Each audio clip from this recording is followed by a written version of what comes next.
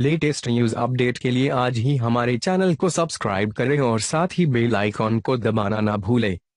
बरोरा थाना क्षेत्र के रेंगुनी बाड़ी में शुक्रवार को लोग घूमते हुए जब एक कुएँ के पास पहुँचे तो उन्हें उसमें गिरी युवक की लाश दिखी। यह सूचना पूरे इलाके में फैल गई और अफरा तफरी की स्थिति बन गई। फ़ौरन पुलिस को सूचना दी गई और ग्रामीणों के सहयोग से शव को बाहर निकाला गया। शनिवार को युवक का अंतिम संस्कार किया जाएगा।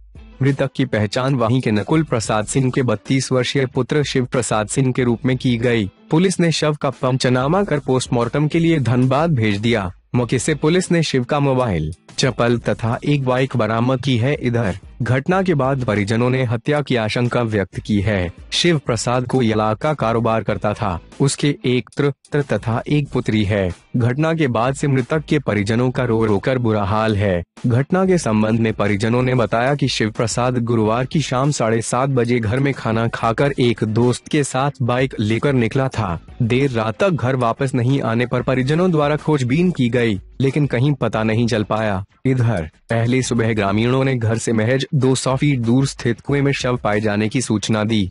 परिजनों ने आशंका व्यक्त किया है कि उसकी हत्या की गई है। साक्ष्य छिपाने के लिए शव को कुएँ में डाल दिया गया। घटना के बाद से मृतक की पत्नी, दोनों बच्चों माता पिता सहित अन्य